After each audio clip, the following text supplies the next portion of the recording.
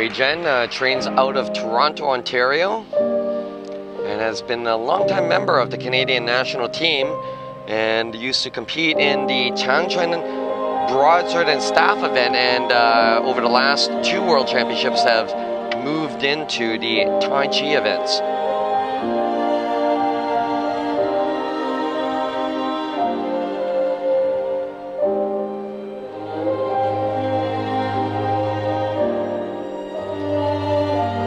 Side leg balance.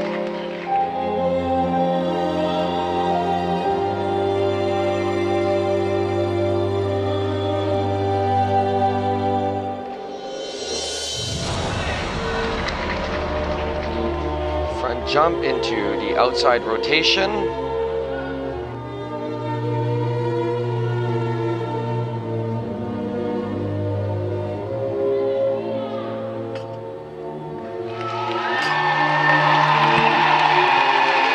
Now, Ellen, I'd be curious to hear your experience, but in my experience, training Tai Chi athletes for a lot of these balances is very difficult.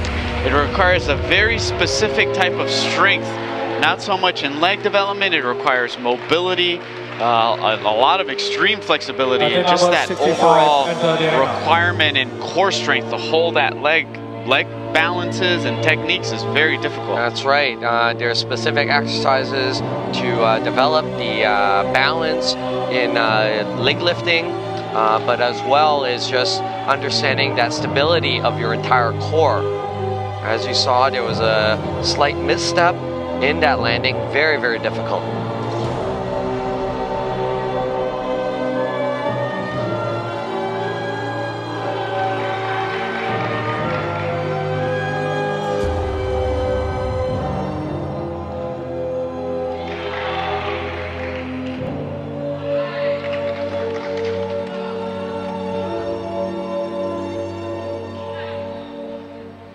There we have one of the difficulty movements, a single leg extended out into a single leg squat and stand.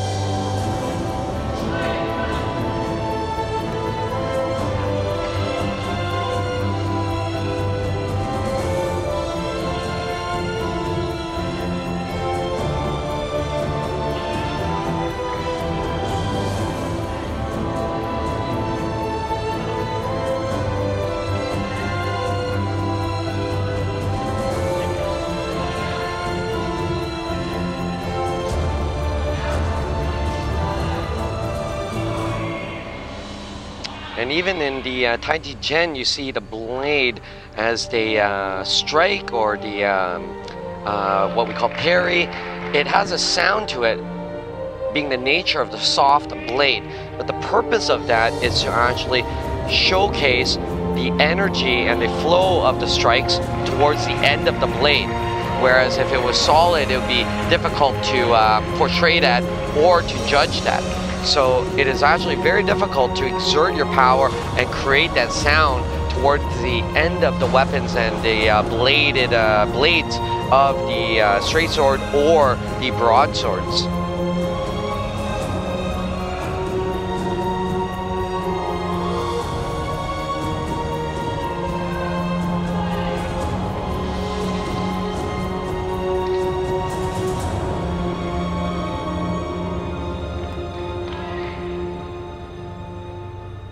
Final score 8.90. That was Wei Jen Lee from Canada. See, the outside rotation was fine, but here on that front 180 degree rotation, the landing was a misstep.